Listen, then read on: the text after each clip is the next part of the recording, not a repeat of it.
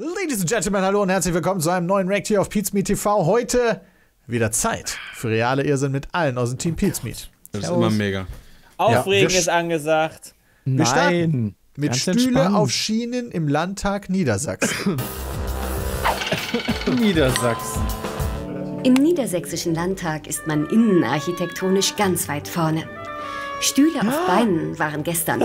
In Hannover sitzen die Abgeordneten auf Schienen. Das ist ja mega Total modern. praktisch. Zurück und vor.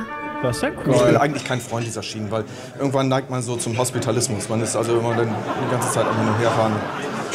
Sieht auch komisch aus, wahrscheinlich von oben ja. die Zuschauer auch. Ja, Moment, aber wenn er selber auch dazu neigt zum Hospitalismus, dann scheint er doch gar nicht so schlimm zu sein. Also, Ja, er mag das halt selber nicht. Ey. Das, das ist wie Aber in der Nase popeln. Das, Ich das möchte ist halt aber mal Eigenschaft, die er sagen- nicht mag. Die erste Reihe hat das nicht.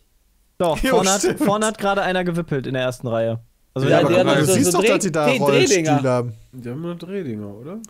Ja. Die Ja. Zweier, der Zweiertisch Stimmt. da zum Beispiel. Ja. Stimmt. Den so den Wesenskern von Politik. Viel Aber es besser. kostet wahrscheinlich ganz 5 Millionen Euro aus. oder so. Ja. Ich Aber ich glaube, das ist teuer. Ja, das ist wahrscheinlich richtig So teuer. den Wesenskern von Politik. Viel besser. Dieses ewige Hin und Her. Politik geht mal vor und mal zurück wie im wirklichen Leben, aber nicht mehr als da auch. Denn auch im Landtag stößt man an seine Grenzen. Mit den Stühlen sogar ziemlich schnell. Die Stühle sind super, aber äh, der Architekt scheint sich keine Gedanken über die Praxis zwischen Stuhl und Tisch gemacht zu haben. Wenn man steht, hat man das Problem beispielsweise in einer Trauer, in einer Gedenkminute, dass einem in den Kniekehlen der Stuhl drückt. Wenn ich zur Abstimmung aufstehen soll, ähm, dann habe ich ein bisschen Probleme, weil er nicht weit genug zurückfährt. Wie sieht das denn aus? Da soll ich Ihnen das zeigen und mich zum Affen machen, aber meinetwegen auch das. So, ganz klare Fehlplanung. So, und deswegen muss der ein bisschen weiter zurück. ein bisschen schwierig, dann gerade zu stehen und das mag ein merkwürdiges Bild bei den Zuschauern erzeugen. Das, das ist zu eng. Kommt das nicht so weit? Dass die Abgeordneten beim Aufstehen schlecht aussehen, hat laut zuständigem nice. Finanzministerium einen Grund, damit der leere Saal gut aussieht. Maßgebliches. Argument zugunsten eines Schienensystems war und ist, dass sich die Stühle bei Nichtbenutzung stets in einer einheitlichen Ausgangsposition Ja, gut. befinden. Aber das auch ist ja auch machen. häufiger der Fall, als dass das da voll ist. Ja, okay, vielleicht. Also deswegen das ist das du ja jetzt auch einfach. okay. Ja, was denn? Ist doch immer so. Wer guckt doch immer in den Hauptsache, es Bundestag Sachen, das ist ja im wenn Landtag nicht niemand anders. da ist.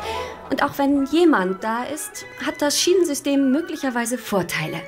Von daher ist es vielleicht bei der AfD ganz gut, dass sie nicht weiter nach rechts rutschen kann.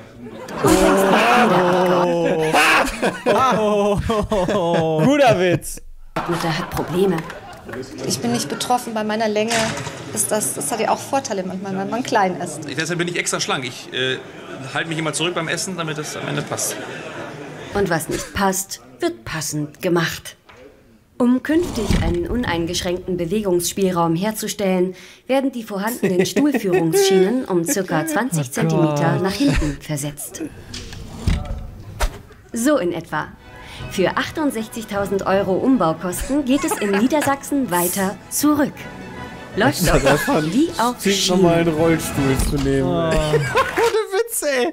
Das ist Schon halt geil. echt schon so richtig awesome. Ey, das sieht aber cool aus. Ich also wollte sagen, immerhin. Gut Also- aussehen tut, das stimmt. Die sind zumindest mal fortschrittlich, was sowas angeht. Ja. Und Also, praktisch, das ist vor der allen Dingen falsche praktisch. Kostet aber Also, wieder einfach dieser- nur unnötiges Steuergeld. Also Das ist auch theoretisch kann man sehr praktisch veranlagt. aufregen.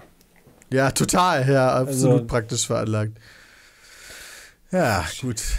Als nächstes haben wir in Tra Guck mal, heute Oh, ist Thema Travemünde kennen wir aber irgendwo her. Ja, das habe ich auf jeden Fall schon häufiger gehört. In Travemünde sitzt es sich teuer. besonders teuer. Weißt du, die haben da so, ein, so eine Goldbank. Das wäre nice. Die Trave, der Segler Passat und neue Bänke, von denen man das maritime Treiben beobachten kann. Aber diese Bänke sind nicht einfach nur Bänke, sondern viel mehr. Die zuständige Stadt Lübeck ist mächtig Wir haben, stolz mal eine, auf die wir haben mal eine. Folge gesehen, wo quasi die Bänke nicht ins Hafenbecken zeigen, sondern dann gegen diese Wand. Ja, genau. Daran kann ich mich noch erinnern. Damit du den Leuten nicht ins Boot guckern kannst. Ja, genau. Ja. Das war ja damals auch schon so dumm. Errungenschaft. Die Bänke ähm, sind äh, hinsichtlich ihrer Gestaltung eben keine, keine Standardlösung, die man äh, ansonsten aus dem Katalog bestellt, sondern eine äh, gesonderte Anfertigung für diesen Standort. Die gibt es auch nur so in, in Travemünde. Die Form der Bänke erinnert an Schiffe. Das Holz ist besonders edel. Diese Exklusivität hat natürlich ihren Preis. Das Einzelstück kostet 20.000 Euro.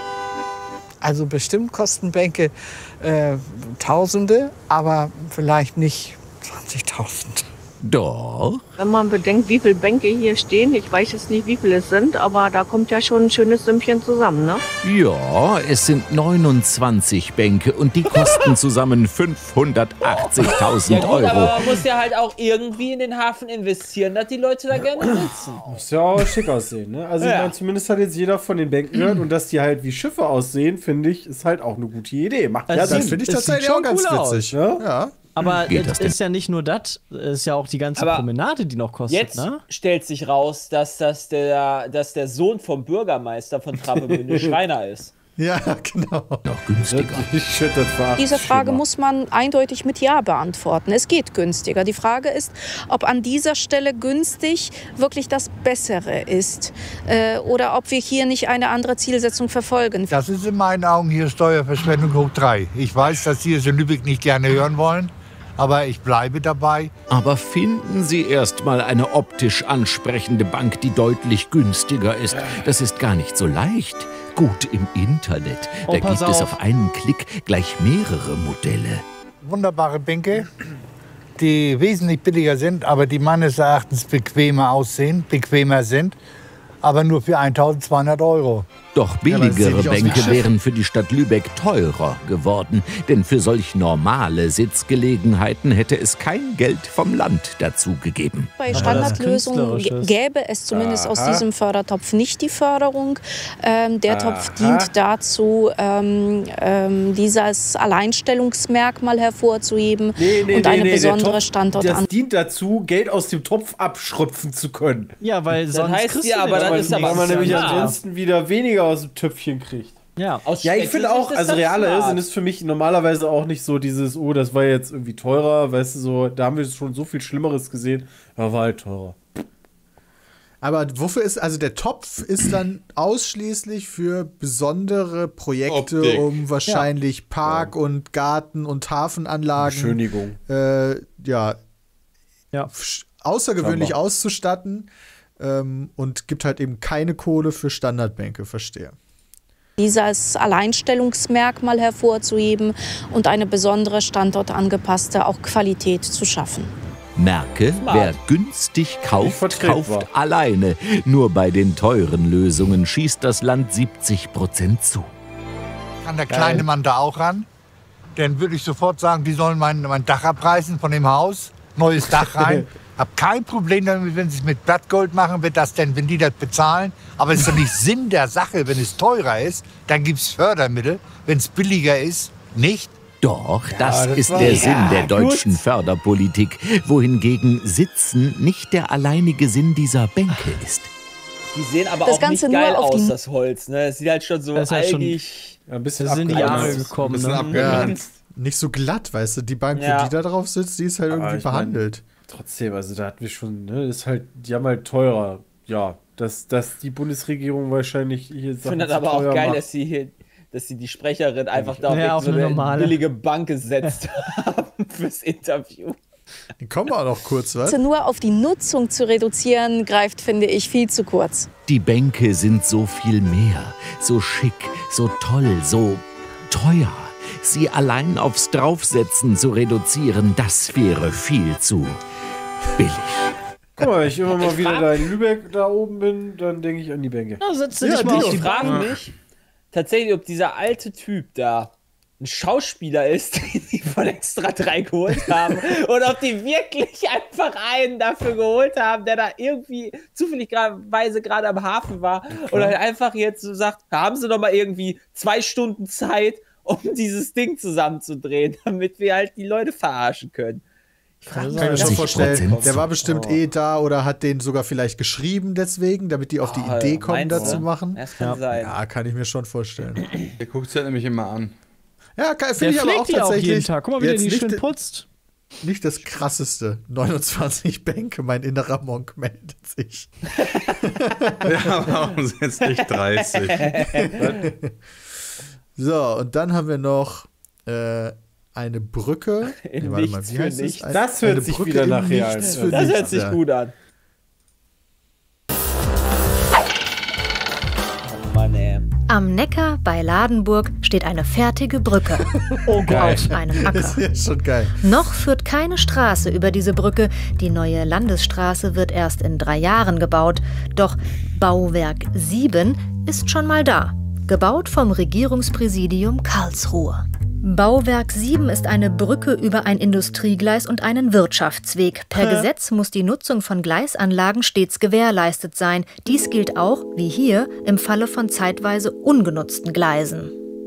Ach What? so, die Brücke muss über Zeitweise? diese Gleise führen. Hm, schon etwas länger nicht mehr in Betrieb, was? Klar ist die Brücke hier nötig. Vielleicht fährt ja irgendwann doch mal wieder ein Zug durch die Brombeeren. Vielleicht wird ja der Hochhaus-Express. aber jetzt mal also ernsthaft, Ernst. das ist aber, glaube ich, also vom Gedanken her, alle Gleise, die es gibt, müssen, dürfen nicht irgendwie so kaputt gemacht werden oder da kann man Ja. nicht einfach so abreißen, weil im Falle eines Kriegsfalls oder so müssen bestimmte Gleise wieder eingesetzt werden oder so eine Ja, Kacke. stimmt. Irgend so ein total kranker Fall, der wahrscheinlich nicht eintritt, aber wenn er eintritt, wir froh sind, dass wir die Gleise haben. dann ist aber der Punkt, Ja, das ist dann der Punkt, wo du sagst, vielleicht sollte man mal manche Gesetze überdenken. Die Frage ist aber, ob die Gleise, Ja, oder die, die die Gleise da gesehen abreißen. haben, wo die, wo die überhaupt hinführen, ob die Ja. überhaupt noch Ja, angeschlossen das kommt vielleicht gleich noch so, dann enden die einfach nach sechs Metern. Weil manchmal, manchmal hast du nämlich so Gleise, die dann zu einer Firma führen, wo früher halt noch eine Firma war, die damit beliefert Ja, so wurde und jetzt halt, heutzutage genau. gar nicht mehr mit Zügen beliefert wird und nicht mehr braucht. schon bezweifelt, dass das sinnvoll ist, weil das Industriegleis ist ja, glaube ich, seit zehn Jahren wird das nicht mehr benutzt. Ja. Und das ist ja eigentlich, die Brücke ist gebaut worden für das Gleis. 2019 wurde die Brücke fertiggestellt über das damals schon lange nicht mehr genutzte Gleis. Das Regierungspräsidium Karlsruhe schreibt dazu, von der Stadt Ladenburg wurde uns im Januar 2020 mitgeteilt, dass die jetzige Betreiberin des Gleises dieses nun zurückbauen möchte. Dies ist bereits geschehen. Ist in demselben Atemzug, wo die Brücke fertiggestellt wird, worden ist, hat man die Gleise rausgerissen. Hat man festgestellt, man braucht das Gleis eigentlich nicht mehr. Und somit war das natürlich die Brücke in den Sand gesetzt, mehr oder weniger. Ne? Eher mehr als weniger. Denn nun gibt es nicht nur keine Straße, die über die Brücke führt, sondern auch kein Gleis mehr, das drunter durchgeht. Ein Wirtschaftsweg ist übrigens auch nirgends zu erkennen. Kann man das Das nicht vorstellen, wie sowas überhaupt zustande kommt? Ich meine, das wird ja alles geprüft und gemacht und 1,4 getan, und dass Millionen. dann sowas passiert.